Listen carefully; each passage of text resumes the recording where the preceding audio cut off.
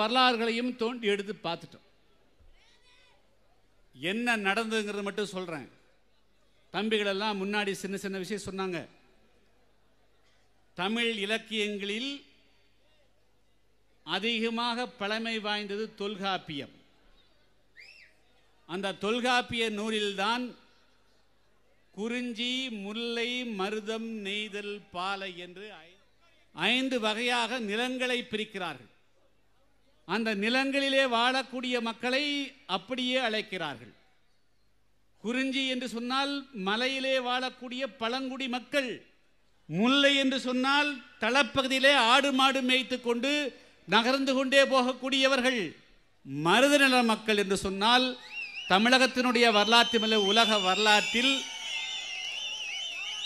எங்கெல்லாம் நீர்நிலைகள் இருக்கிறதோ ஆற்றுப்படுகளிலே தங்கி குடும்பங்களை உருவாக்கி வேளாண்மை செய்து அரசை உருவாக்கியவர்கள் தான் தேவேந்திரகுல வேளாளர்கள். எனவே குடும்பங்களும் குடும்பரிடத்திலே தான் வந்தது. அரசுகளும் குடும்பரிடத்திலே தான் வந்தது. நிலங்களுக்கெல்லாம் அப்படியே சொந்தக்காரர்களாக இருந்தோம். அந்நிய படையெடுப்புகள் வந்தது. நம்மிடத்திலே இருந்து நிலங்களை பறித்து கொண்டார்கள். ஒரே நாளிலே நிலமற்றவர்களாக நம்மை மாற்றினார்கள். நிலங்களை பிடுங்கி சொந்த நிலத்திலே யார் அதற்கு வரி கொடுக்கிறார்களோ அவர்களை குடியானவர்களாகவும் வரி கொடுக்க மறுத்தவர்களை குடிநீக்கம் செய்தார்கள்.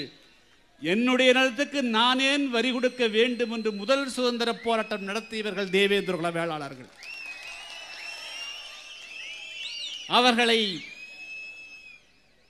கர்நாடகத்திலே வந்தவர்கள் ஆந்திராவிலிருந்து வந்தவர்கள் வடக்கிருந்து வந்தவர்கள் நம்ம எல்லாம் நிலங்களை பறித்து கொண்டு நம்முடைய சொந்த மண்ணிலே நம்மை அடிமையாக்கினார்கள். நம்மிடத்திலே நிலம் இல்லாமல் போய்விட்டது. தேவேந்திரோட வேளாளர்கள் உங்களுக்கு தெரியும். எந்த காரணத்தை கொண்டும் எப்பொழுதும் சமரசம் செய்து கொள்ள மாட்டார்கள் என்பது உங்களுக்கு தெரியும். அன்றிலிருந்து இன்று வரையிலும் போராடுகிறோம் போராடுகிறோம் போராடி கொண்டே இருக்கிறோம். ஆங்கிலேயன் வந்தான். அவன் இருநூறு முந்நூறு ஆண்டு காலம் இந்த மண்ணை ஆண்டான். அவனுக்கு என்ன வரலாறு என்பது அவனுக்கு தெரியாது. ஏழைகளாக தே இந்த மக்கள் போராடி கொண்டு இருப்பதை வி- இருப்பதை பார்த்தான். பட்டியலே தவறுதலாக சேர்த்து விட்டான். அவன் செய்த தவறுதான் என்று நாம் பட்டியலே சேர்ப்பதற்கும் ஆதரவாளர் ஆக்கப்படுவதற்கும் காரணம் என்பதை இந்த நேரத்திலே சொல்லிக்கொள்ள விரும்புகிறேன். எனவே தேவேந்திரகுல வேளாளர்கள் என்றுமே தீண்டாமைக்கு ஆட்பட்டவர்கள் அல்ல. பட்டியலே சேர்க்கப்படக்கூடாதவர்கள் சேர் தவறுதலாக சேர்க்கப்பட்டிருக்கிறார்கள். அது ஆங்கிலேயருடைய காலத்தில் ஏற்பட்ட மிகப்பெரிய தவறு. ஒரு காலத்தில் தவறு நடந்தால் அந்த தவறை சரி செய்ய வேண்டிய பொறுப்பு யாருக்கு இருக்கிறது? ஆங்கிலேயருடைய காலத்தில் ஏற்பட்ட தவறு. ஆயிரத்தி தொள்ளாயிரத்தி இருபத்தைந்துகளிலேயே ஆம்பூரை மையமாக வைத்து செயல்பட்ட தேவேந்திர போதிரி என்ற பத்திரிகை ஆசிரியர் சீனிவாசன் பிள்ளை அவர்கள் தேவேந்திரகுல வேளாளர்களை பட்டியல் பிரிவிலே சேர்க்காதீர்கள் என்று கடிதம் எழுதினார். நண்பர்கள் சொன்னது போல தமிழ்நாட்டிலே வேறொரு சமுதாயம் லண்டன் பிரிவியூ கவுன்சில் வரையும் சென்று போராடியது. ஆனால் அன்று நம்முடைய தேவேந்திரகுல மக்களுக்கு சங்கங்கள் வலுவில்லாமல் இருந்த காரணத்தினாலே அவர்கள் லண்டன் வரையிலும் செல்ல முடியவில்லை. ஆனால் அவர்கள் வெற்றி பெறவில்லை. அவர்கள் வெற்றி சென்ற பணியை புதிய தமிழகம் நிறைவு செய்யும் என்பதை இந்த நேரத்தில் நான் சுட்டிக்காட்ட விரும்புகிறேன்.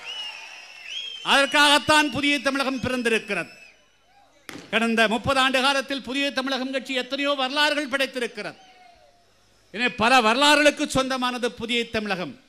எனவே தேவேந்திரகுல வேளாள அடையாளத்தையும் மீட்போம். ஆங்கிலேயர் செய்த தவறை மத்தியமான அரசுகள் திருத்துகின்ற பணி பட்டியலிருந்து வெளியேற்றங்கள் இதரப்பட்டோர் பட்டியல் சேர்ப்பதற்கு உண்டான பணியும் முடித்து காட்டுவோம் என்பதை இந்த நேரத்திலே நான் சொல்லிக்கொள்ள விரும்புகிறேன்.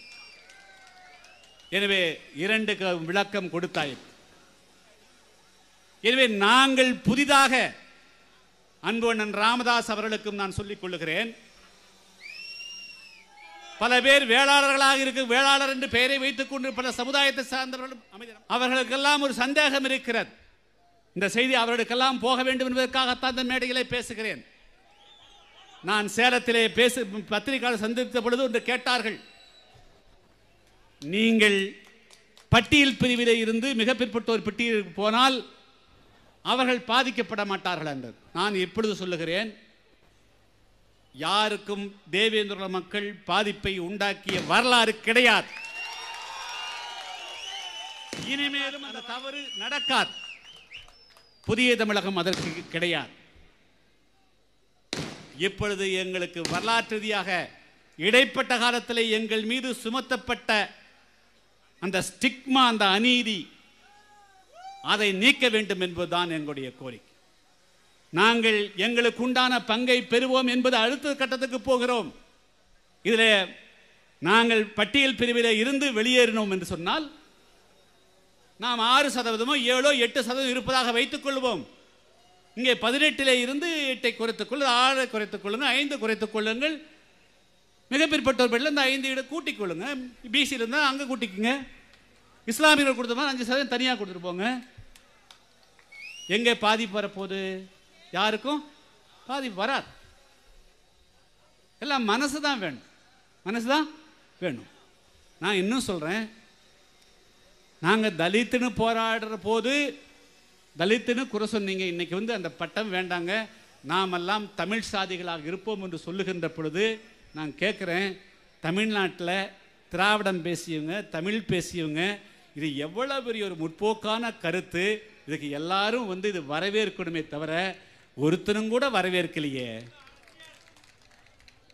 தமிழ் தேசியம் பேசுகிறவன் தமிழ் தனி தமிழ்நாடு பேசுகிறவன் திராவிடம் பேசுகிறவன் புரட்சி பேசுகிறவங்க பொதுடைமை பேசுகிறவங்க நாங்கள் என்னையா பேசிட்டோம்? ஆங்கிலேயருடைய காலத்தில் ஒரு தவறு நடத்திட்டாங்க அதனால் உளவியல் ரீதியாக இந்த மக்கள் தாங்கள் தாழ்த்தப்பட்டவர்கள் தீண்டாமைக்கு உட்பட்டவர்கள் என்ற ஒரு தாழ்வு மனப்பான்மை இடத்திலே கூடிக்கொண்டிருக்கிறது இவர்களுக்கு அதனாலே மிகப்பெரிய பாதிப்பு உண்டாகிறது. கல்வி எல்லோருக்கும் இலவசமாகிவிட்டது. டிவி எல்லோருக்கும் இலவசமாகிவிட்டது. கேஸ் எல்லோருக்கும் இலவசமாகிவிட்டது. ஆடு மாடு எல்லோருக்கும் இலவசமாகிவிட்டது. வீடுகள் எல்லோருக்கும் இலவசமாகிவிட்டது. எஸ்சி பெட்டியில் எதுக்காக இருக்கணும் மட்டும் சொல்லுங்க. எஸ்சி பெட்டியில் எதுக்காக இருக்கணும்னு சொல்லு ஒரு முக்கியமான விஷயம் தெரியுமா? எங்காவது நீங்கள் வேலை லா காலேஜ் படிக்க போனீங்கன்னா நம்முடைய இளைஞர் தெரிஞ்சுக்கணும். எஸ்சிக்கு கட் ஆஃப் மார்க் வந்து எழுபத்தி அஞ்சு. எவ்வளவு? எம்பிசிக்கு எவ்வளவு தெரியுமா? அறுபத்தஞ்சு. எம்பிஎஸ்சிக்கு எஸ்சி வந்து எம்பிசி விட கீழே பிசி விட கீழேன்னு சொன்னால் கட் ஆஃப் மார்க்கும் கீழே இருக்கணும்ல ஆனால் கட் ஆஃப் மார்க் வந்து அதிகம். அப்போ எதுக்காக எஸ்சி பட்டியலில் இருக்கணும்? இது நம்முடைய சில பேர் இந்த SC ST SC ST SC சங்கம் வச்சுருக்கிறாங்கல்ல? தெரியுமில்ல உங்களுக்கு சங்கம் வச்சுருக்கிறாங்க அவங்களுக்காக பதில்